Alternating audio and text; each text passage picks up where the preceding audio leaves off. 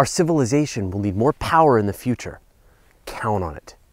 The ways we use power today for lighting, transportation, food distribution, and even entertainment would have sounded hilarious and far fetched to our ancestors.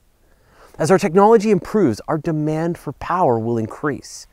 I have no idea what we'll use it for, but I guarantee we'll want it.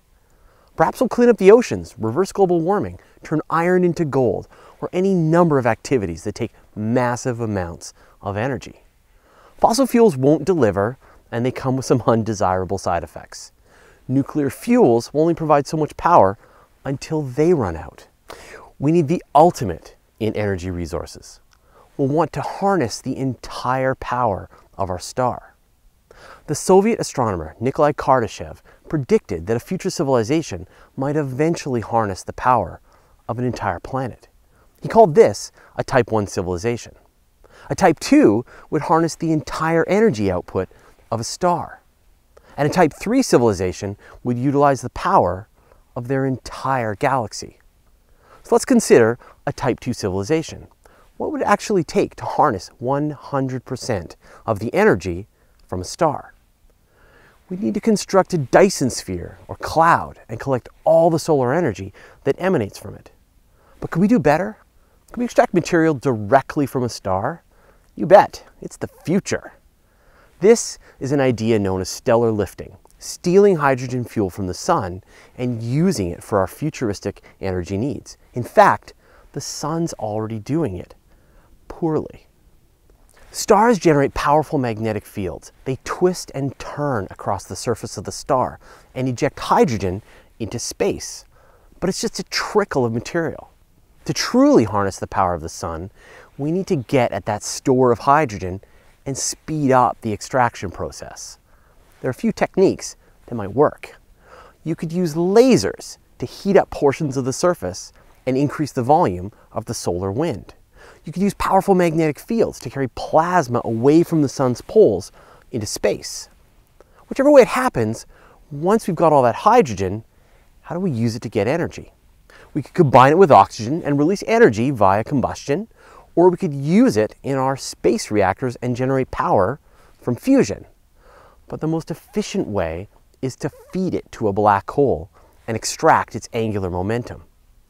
A highly advanced civilization could siphon material directly from a star and send it into the ergosphere of a rapidly spinning pet black hole.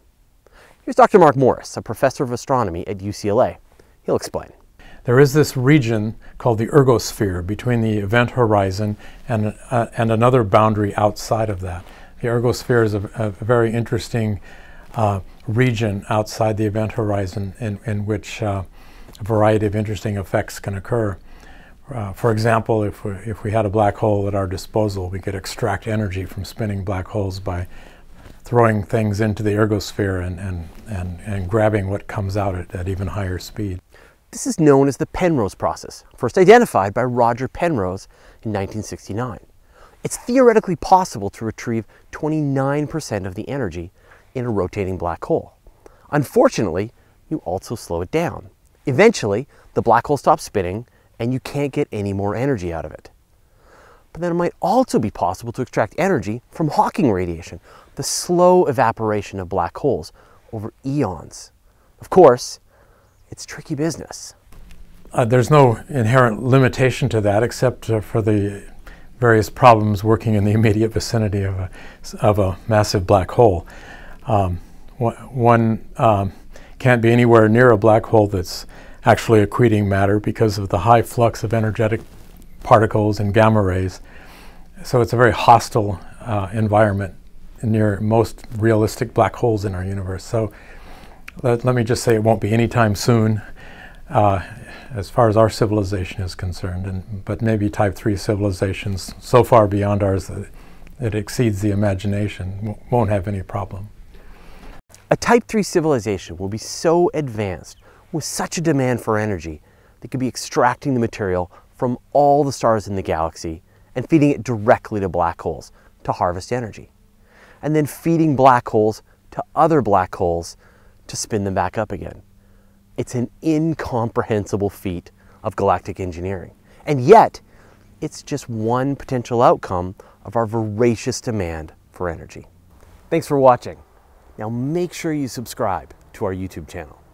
And if you're into what we're doing and you want to see extra behind the scenes content, like the full length, raw interviews, you can join our community by clicking this link here. We need the ultimate in energy resources. We want to harness the entire power of our star.